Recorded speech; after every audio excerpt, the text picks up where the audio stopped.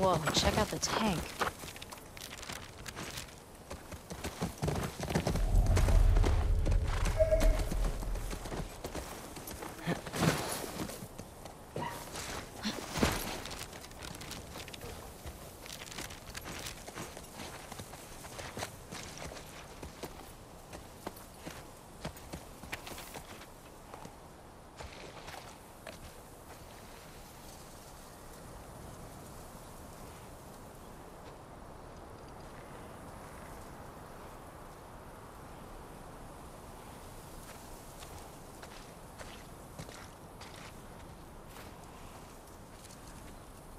Kinda sad.